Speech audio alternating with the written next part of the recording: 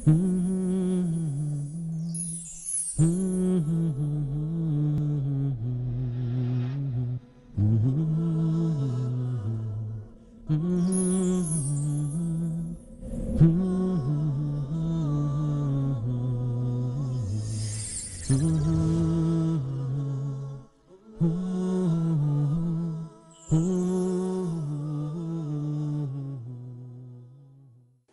الله الرحمن الرحيم.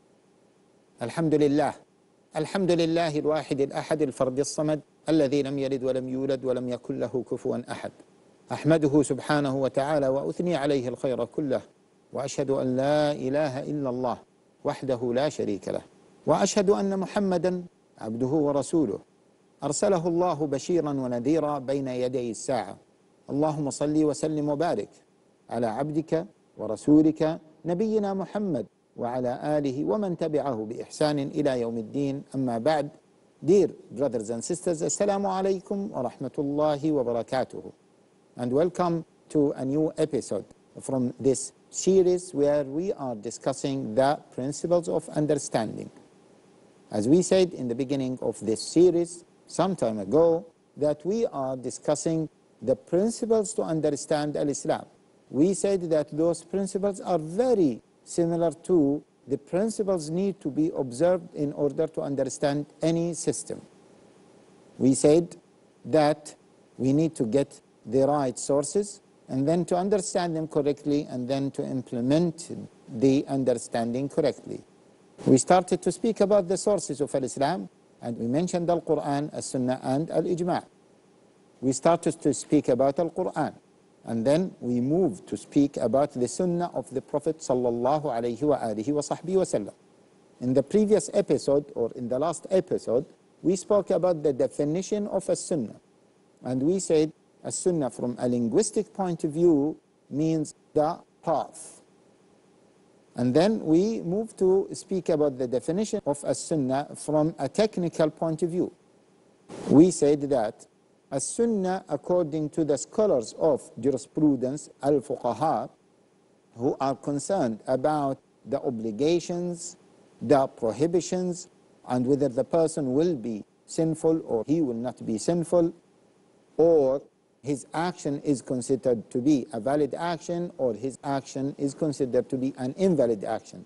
Those scholars, the scholars of fiqh or jurisprudence, defining as-sunnah as the action or the statement or the belief that the person who is doing it, is going to be rewarded, and the person who is not doing it, he will not be or she will not be sinful. This is the definition of a sunnah according to the fuqaha. The definition of a sunnah according to the scholars of hadith is anything that has been reported about the Prophet sallallahu wa alihi wa sahbihi. The actions of the Prophet sallallahu the statements of the Prophet sallallahu the tacit approvals of the Prophet sallallahu. Not only that, but how the Prophet sallallahu used to look like, the seerah of the Prophet sallallahu wa alihi wa sahbihi and so on and so forth. And this sunnah, according to muhaddithin, as we will see in the future, can be classified into a da'if sunnah or a weak sunnah. The muhaddithun are concerned about the chain of narrators and are concerned about anything after the chain of narrators. Then we mentioned the definition of a sunnah according to the scholars of aqidah. The scholars of aqidah are concerned about the framework which need to be followed in order to be part of the ummah of Muhammad sallallahu alayhi wa alihi wa sahbihi. If you go outside this framework, you will not be from Ahl Sunnati wal Jama'ah.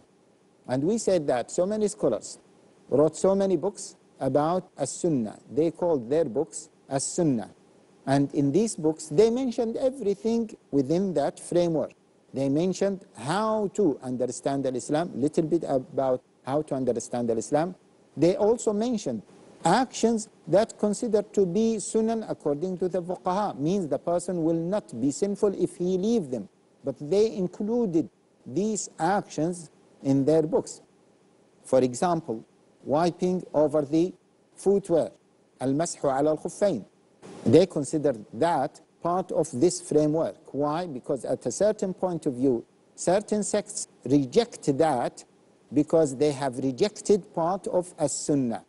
So if you reject part of a sunnah, means that you are outside the frame, means you are not part of the ummah of Muhammad sallallahu alayhi wasallam. And they always use the hadith of the Prophet sallallahu alayhi wasallam, فَمَنْ رَغِبَ عَنْ سُنَّتِي فَلَيْسَ مِنِّي The one who turns away from my sunnah, he is not part of me. Now, brothers and sisters, let us be careful. Let us stop here for a while and discuss this issue. The Prophet ﷺ said, Man an sunnati, the one who turns away from my sunnah. Okay, the person who doesn't pray two rak'ah before Fajr, he is losing a lot. Yes, we agree that he is losing a lot. The Prophet ﷺ said, Rak'ata al-Fajr khayrun min ad-dunya wa ma fiha. Two rak'ah before Fajr is better than the dunya, the whole dunya and whatever is in the dunya. Subhanallah al-Azim. That's why, brothers and sisters, don't lose these two rak'ah. Don't lose this opportunity. But if a person missed that, or if a person doesn't pray that, okay, then is he part of the ummah of Muhammad sallallahu alayhi wasallam? Yes, he is part of the ummah of Muhammad sallallahu alayhi wasallam, generally speaking. So here, فَمَنْ رَغِبَ عَنْ سُنَّتِي Sunnati here, it doesn't refer to what is mentioned in this hadith. We have to be careful about that, brothers and sisters. It refers to the framework, the methodology in general. So that what is mentioned by the hadith, or that what is meant by the hadith. فَمَنْ رَغِبَ عَنْ سُنَّتِي فَلَيْسَ مِنِّي Once we understand that, we will be able to understand a link between the sunnah according to the definition of the fuqaha and the sunnah according to the definition of ulama al-aqidah of the scholars of aqidah. The hadith of the Prophet ﷺ, فَمَنْ رَغِبَ عَنْ سُنَّتِي فَلَيْسَ مِنِّي The one who deliberately turns away from my sunnah, he will not become part of my ummah. He will not be part of my ummah.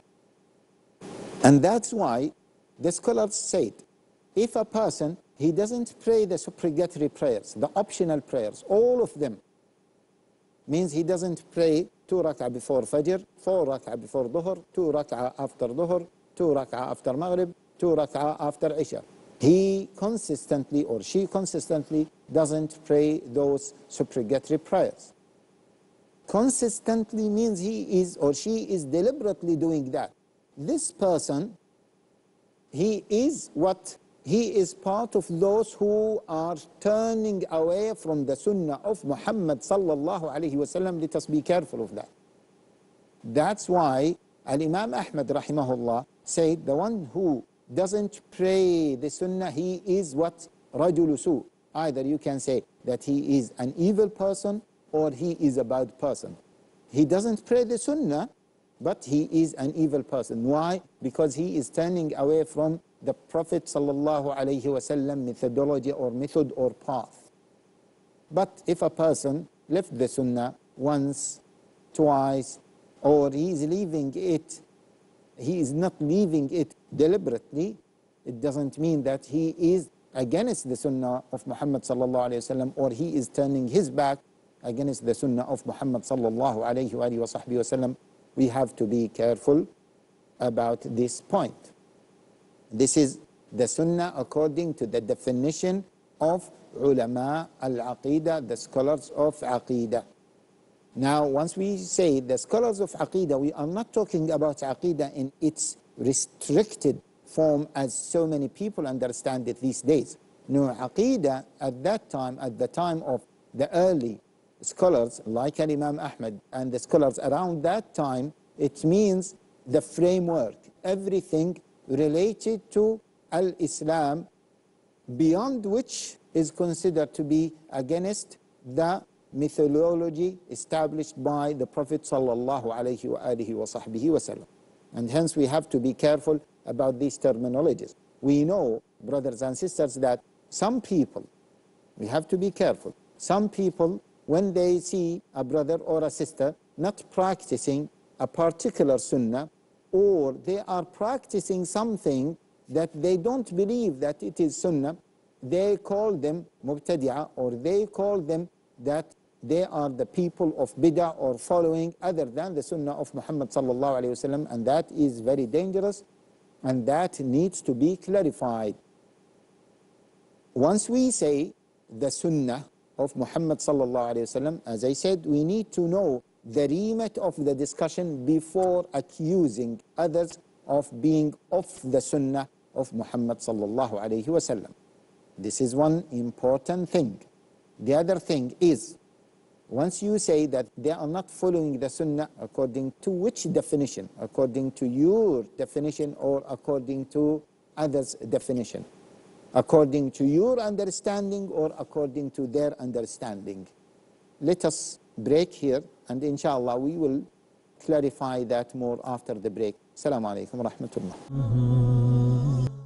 Bismillah ar-Rahman ar-Rahim. Alhamdulillah wa salatu wa salamu ala Rasulillah. Welcome back brothers and sisters. Just before the break, we were discussing this issue of being accused that you are against Sunnah or accusing someone that he is against Sunnah. So we have given the definition of Sunnah according to the scholars of Aqidah. Let us move now to talk about the definition of Sunnah according to the scholars of Usul al-Fiqh. Who are the scholars of Usul al-Fiqh? The principles of jurisprudence. The scholars of Usul al-Fiqh are concerned about the classifications of the human beings into the five main categories that we have mentioned when we mentioned the definition of sunnah according to the fuqaha. We said that the fuqaha are concerned about the rulings of our actions or the classifications of our actions, whether this is a wajib or sunnah or mustahab. The usuliyin are concerned about the definition of wajib, the definition of sunnah, the definition of makruh, and what can be a wajib, what can be a sunnah. Once they said that the wajib is this classification, then under that classification so many rulings or so many practices are included. So those practices, once they are included under wajib or once they are included under sunnah or under makruh, then the fuqaha are concerned about them. I hope that the matter is clear. Let us go one step further. The ulama usul al-fiqh are studying when can we consider this action as wajib? When can we consider this action as sunnah? When can we consider this action as haram? The fuqaha are not studying this. The usuliyun are giving them the framework, then the fuqaha are taking this framework and applying it into the ahadith, the verses of the Quran in order to conclude the actions that are considered to be or the actions that can be included under those classifications. So, ulama usul al-fiqh, they will say that in order for any action to be obligatory, it has to be mentioned in a commandment or it has to be given in a commandment. For example, they say that Allah Jalla wa says, وَأَقِيمُوا الصَّلَاةِ Establish the prayer. So this statement is a commandment. Allah Jalla wa says, establish the prayer is a commandment given by Allah Jalla wa what does it entail? It entails that the action included is a command, is an obligatory action. So now we will move to the fuqaha. The fuqaha will say, yes, the commandment leads to obligation and hence the statement of وَأَقِيمُوا الصَّلَاةِ it includes a commandment to pray, hence a prayer is an obligatory action. Now, the usuliyun as well, they say that the Prophet wasallam cursed the one who drinks alcohol. Hence, any cursed action by the Prophet wasallam is classified as a haram action. Now, the fuqaha will take this principle and they will apply it into various ahadith. And they will say that, for example, the Prophet ﷺ cursed the one who drinks alcohol. And hence, drinking alcohol is considered to be a haram action. The usuliyun, ulama al-usul, this is another example. They will say that if the Prophet ﷺ in one place carried an action and in some other circumstances the Prophet ﷺ did not do or did not carry out this action. This means that this action is not one of the obligatory actions because the Prophet ﷺ once did it and the Prophet ﷺ in another time he left it. For example, the Prophet ﷺ used to fast Mondays and Thursdays. But sometimes the Prophet ﷺ used to stop fasting on Monday or on Thursday. Which means, aha, the scholars of Usul al-Fiqh, they will say, this means that fasting Monday is an optional fasting. It is not an obligatory fasting. Why? They use the principle that has been stated by ulama usul al-fiqh to conclude that. They say because it has been established that if there is an action that has been performed by the Prophet ﷺ occasionally, means the Prophet ﷺ used to do it sometimes and used to leave it other times, then this action is not an obligatory action. And that's why the Prophet ﷺ never left the five daily prayers. So the five daily prayers are considered to be what? Fard, as it is known by all Muslims. This is an example that illustrates the relationship between ulama al-fiqh, the scholars of jurisprudence, and the scholars of ulama usul al-fiqh, the principles of jurisprudence. Now, ulama usul al-fiqh, they are concerned about when can we classify action as an obligatory or prohibited or sunnah or makruh or mubah. Hence, they are concerned about the sunnah as a source for these classifications. And now, let us talk about the definition of sunnah according to the scholars of usul al-fiqh. What is the definition according to usuliyun? The usuliyun means the scholars of usul al-fiqh, the principles of jurisprudence. They are concerned about number of things, but mainly two things.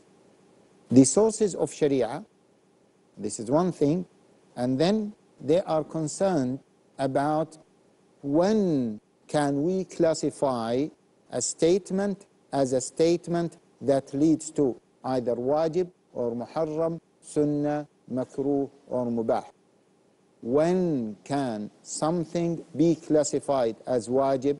When can an action can be classified as sunnah and so on and so forth. They are concerned about these two things.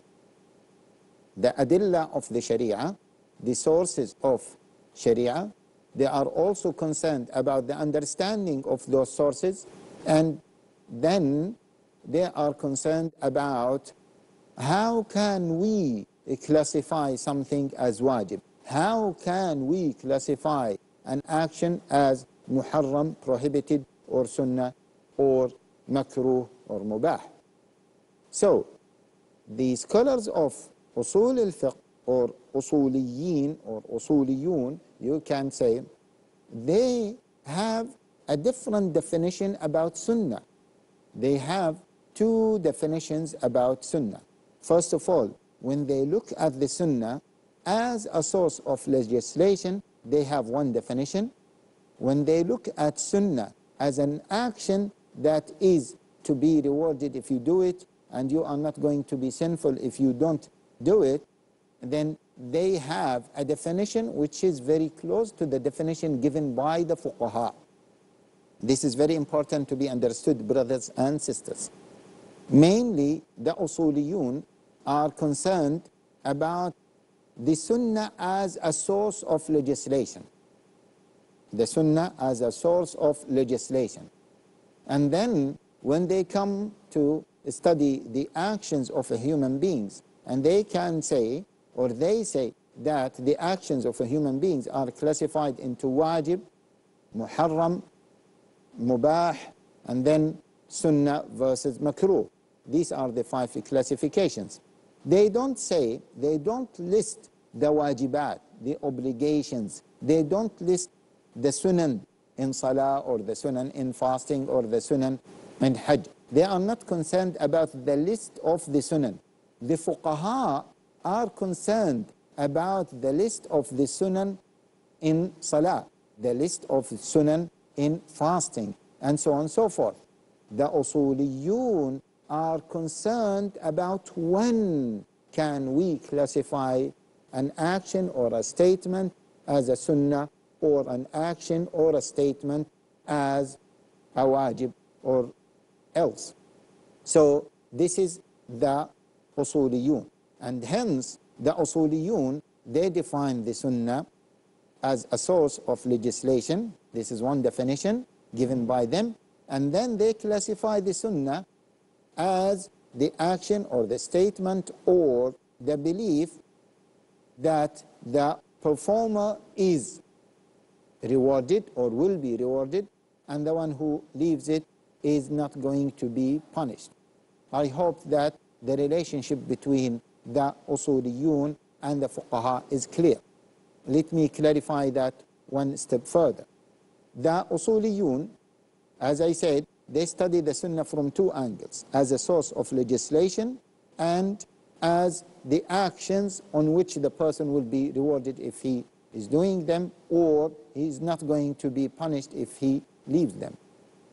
So according to this view, they say that if Allah Jalla wa'ala commanded us to do something and Allah Jalla wa'ala did not give us any leeway to leave this action or this statement, then this action or statement is considered to be an obligation. This is the principle that they put. The fuqaha will take this and they will apply it on the verses of the Quran or the verses of the Sunnah. So they took the framework from the usuliyin and they are going to apply it on different verses and then they will take the example of aqimu salah and they will say that it is a commandment from Allah Jalla wa ala. Means Allah Jalla wa ala wants us to do it. And Allah Jalla wa ala did not give us any indication that this commandment is meant for recommendation and hence وَأَقِيمُوا الصَّلَاةِ leads to an obligation and performing salah is an obligatory action. The cameraman again is telling me that we came to an end or to the end of this episode. We have to stop here and inshallah we will continue the discussion in the future. جزاكم الله خيرا وأصلي وأسلم على المبعوث رحمة للعالمين والسلام عليكم ورحمة الله وبركاته